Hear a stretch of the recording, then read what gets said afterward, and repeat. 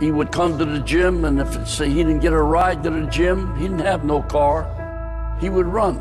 He would run across the causeway. Muhammad Ali, one of my great heroes, had a great line in the 70s when he was asked, How many sit ups do you do?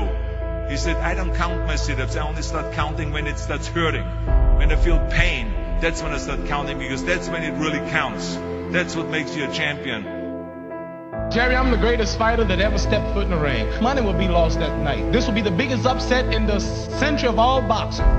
I think you're a big bag of wind. Damnedest showman that ever lived, and you ain't kidding anybody. The odds are seven to one. It's very big odds for a heavyweight championship fight. It has to be Liston. Liston is a much bigger puncher.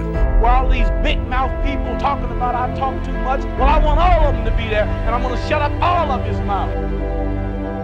And after six rounds. Cassius is not my name no more. You want to keep calling me a white man's name? I'm not white. Continues to scream at Terrell. He beat the hell out of those who didn't want to use his name. Mr. Muhammad Ali has just refused to be inducted into the United States Armed Forces. I'm just about broke. I'm not allowed to work here now in America. I'm gonna fight not for me, but to uplift my little brothers who are sleeping in concrete floors today in America. They want to be famous to help people. It's a wonderful, wonderful. I'm gonna float like a butterfly and sting like a bee. George can't hit what his eyes can't see. All of you chumps are gonna bow when I whip him. All of you. I know you got him. I know you got him picked. But the man's in trouble. I'm gonna show you how great I am. Bluffed him. I done everything. Beat him up basically for about five or six rounds. I thought it was easy. Then about the sixth round, he whispered in my ear after I'd hit him in the side, "That all you got, George?" And never talk about who's gonna stop me. Well, ain't nobody gonna stop me. I must be the greatest. I shook up the world. I shook up the world. I told you, all of my critics, that I was the greatest of all time. He who is not courageous enough to take risks will accomplish nothing in life.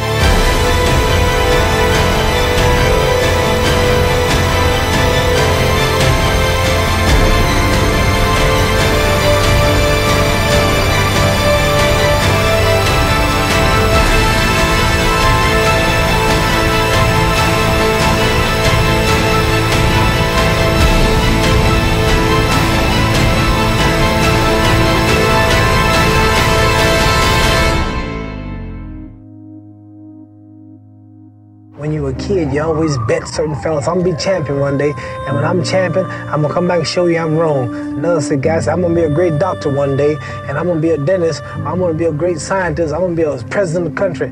And but very few people actually are able to make good of the boast and come home and say, I told you.